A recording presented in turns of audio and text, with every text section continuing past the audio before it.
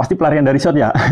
Oke, langsung aja. Jadi, apa fungsi dari chip yang berada di dalam bola Piala Dunia 2002 nanti? Jadi, fungsi dan manfaat chip yang berada di bola Al Rila ataupun bola Piala Dunia adalah sebagai motion sensor gerakan dan teknologi ini bisa disebut dengan suspension system yang bertujuan untuk membantu video asisten referee atau VAR. Sorry ganti mikrofon. Lanjut. Dan untuk memastikan sistem ini berjalan dengan lancar, akan dipasang 12 kamera khusus pada beberapa titik. Lalu seperti apa pola sistemnya? Ketika bola berada di kaki pemain, teknologi suspension system akan membuat motion sensor gerakan pergerakan. Dan nantinya sensor ini akan ditangkap oleh kamera. Maka yang terlihat oleh kamera AI akan seperti ini. Bahkan lebih mendetail. Pergerakan player pun akan terbaca dan terhitung. Teknologi ini akan memudahkan hakim garis ataupun wasit dalam menentukan pemain berada dalam posisi offside. Dengan adanya teknologi dan juga kecerdasan buatan ini, diharapkan Piala Dunia 2022 di Qatar akan berjalan lebih adil dan fair. Ada yang berpendapat bahwasanya teknologi ini diciptakan dan dikembangkan di Jerman. Tapi sebenarnya banyak negara yang ikut mengembangkan teknologi ini. Seperti halnya Indonesia yang turut mengambil bagian dalam proses pengembangan bola ini. Untuk kalian yang belum nonton part satunya ada di shot ya guys. Oke, okay, bye-bye.